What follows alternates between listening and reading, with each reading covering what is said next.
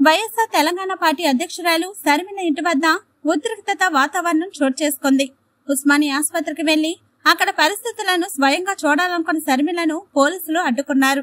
దీంతో వైతాపా కార్యకర్తలు పోలీసుల మధ్య తోపులాట చోటు చేసుకుంది.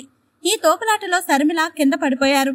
అనంతరం శర్మిల మాట్లాడుతూ తమ నేతలను ఎక్కడికి వెళ్ళకుండా గృహ నిర్బంధం చేస్తున్నారని ఆగ్రహం వ్యక్తం చేశారు. కేసీఆర్ని ఎంత అని మరోసారి నిరూపితం అయిందన్నారు. రాష్ట్రంలో ప్రజాస్వామ్యం లేకుండా పోయిందని మండిపడ్డారు. రాష్ట్ర ప్రజలకు ఇచ్చిన హామీలను ఒక్కటి కూడా సీఎం నెరవేర్చలేదని విమర్శించారు. ప్రజల తరపున గొంతు వినిపిస్తే అరెస్టు చేస్తున్నారని ధ్వజమెత్తారు.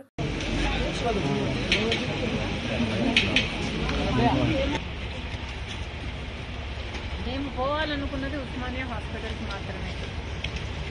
మీకు నా సిబ్బందితో ప్రాబ్లం ఉంది అనుకుంటే మీరు వస్తారమ్మా? Okay just media and myself okay పైన నుంచి అంటే? పైన నుంచి అంటే ఎక్కడి నుంచి ఆర్డర్స్ ఉన్నాయా? ఏమైనా కట్టలు కనిపిస్తున్నాయా? రాళ్ళు కనిపిస్తున్నాయా? కత్తులు కనిపిస్తున్నాయా?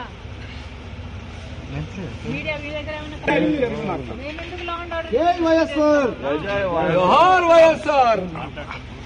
వైఎస్ఆర్ తెలంగాణ పార్టీ తరఫున నేను ఒక్కదాన్ని. అంతా మీడియా వాళ్ళే. పోయేది ఉస్మానియా హాస్పిటల్కి.